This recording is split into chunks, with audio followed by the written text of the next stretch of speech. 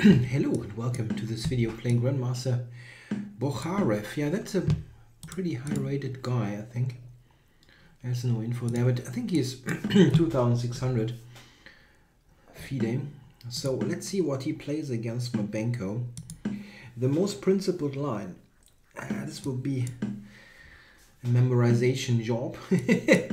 of course, I've done all this for the repertoire, but I still uh, confuse the lines a little bit. So I have, this is kind of kind of clear, but okay, that line. Mm -hmm. Okay, I think this is right. Ah, but I don't don't quite remember from here. um, can you just play like normal stuff? Oh, I think I think I actually take and play Queen A6. I think I play with Queen A6 here.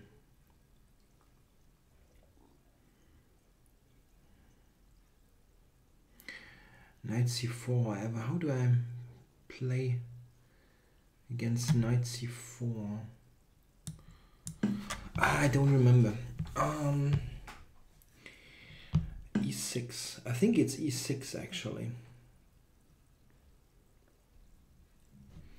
I think e6 is right, but in Blitz I have trouble really remembering my own my own suggestions sometimes. I think it's e6.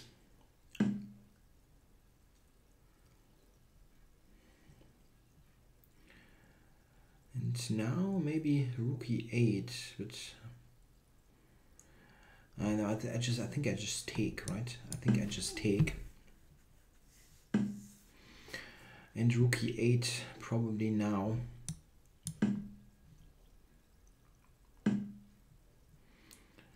Okay, so the thing is, I want to go d6, knight d7, but there is bishop to f4. This is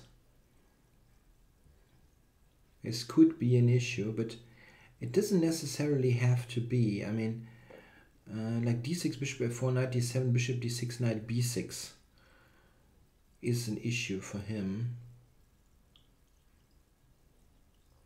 I think.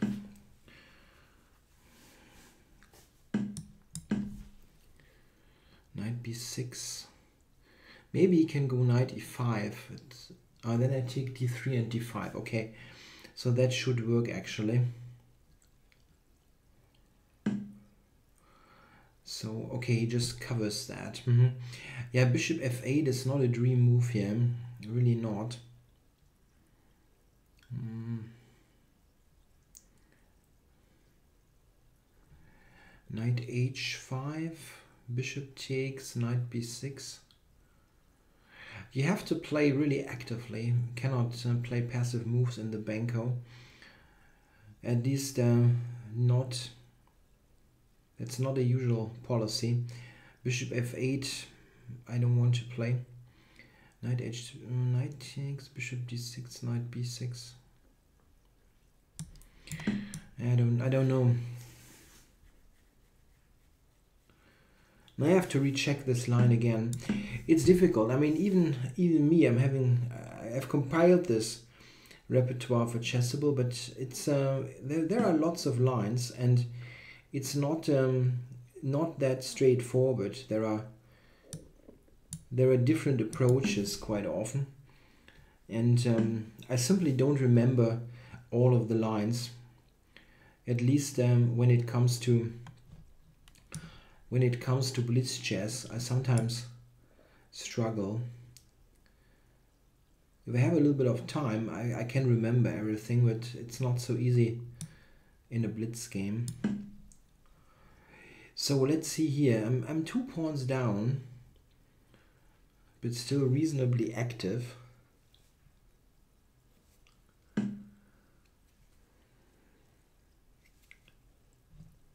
Yeah, the d pawn is a big problem, of course. Yeah, a3 is a good move.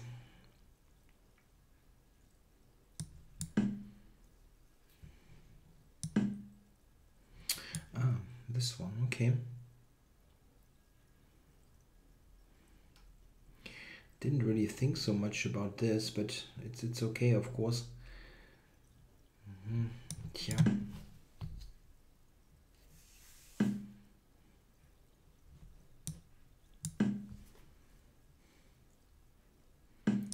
At the end, he's got the d pawn. Uh, hmm, hmm, hmm. Wants to play with knight g4. And he attacks my rook. Hmm.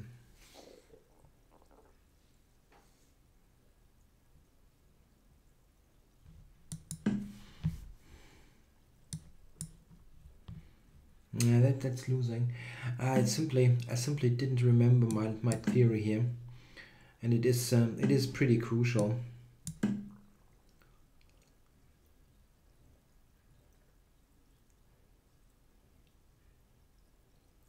Yeah, one thing that I have on my list to do is actually to log into uh, into Chessable and uh, basically learn my own my own stuff.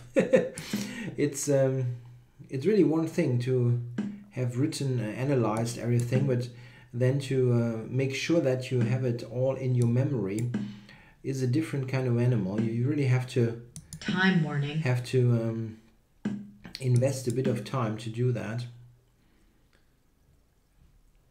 Okay, so I'm kind of hanging in here, but it's, it's of course losing.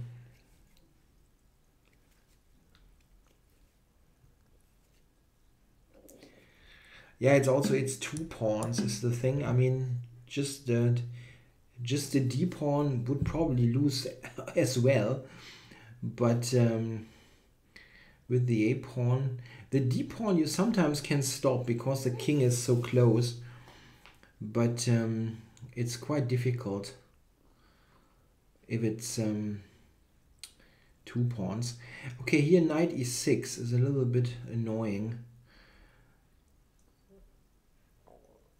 the, the pin here on the fourth rank.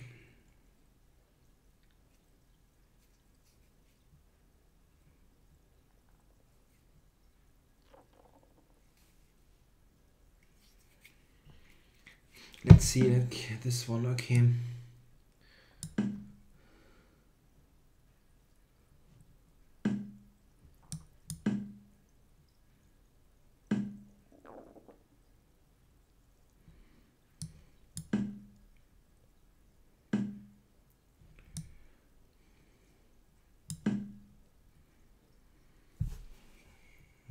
Five is not not a real threat.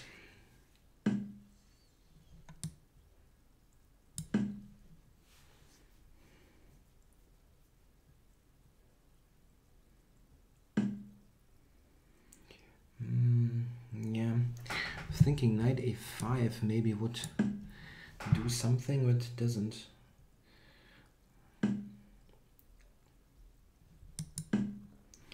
He had knight b6 now as a as a threat.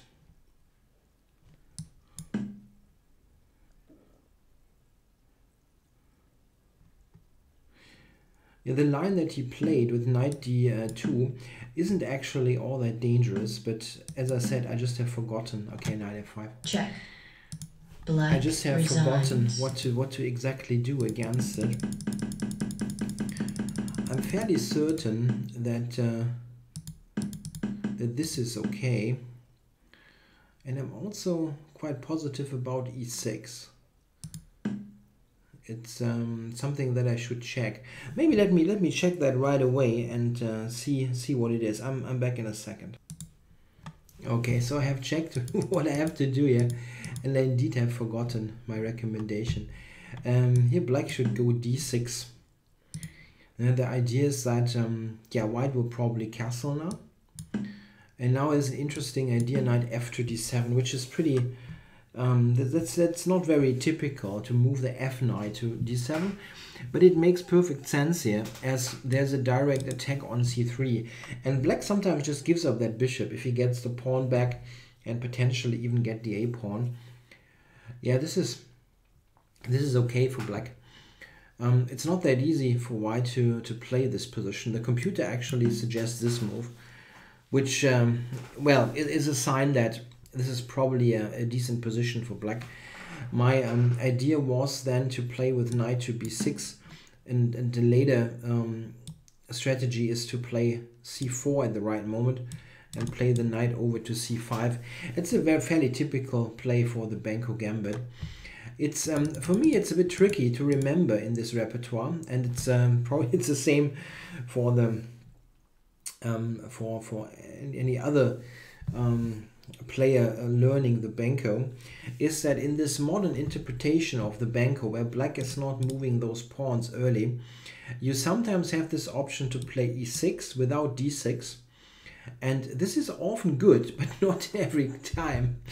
And it's something that uh, I you really have to master. I mean I've looked at it and I've uh, found good solutions but you still have to remember it. And um, it's something as I said I have to basically learn my own repertoire again to um, yeah to be totally sure what happens in, in any um, any circumstance. So I mean this is probably this is not terribly bad. It's just that probably um, the other option is, is a lot better.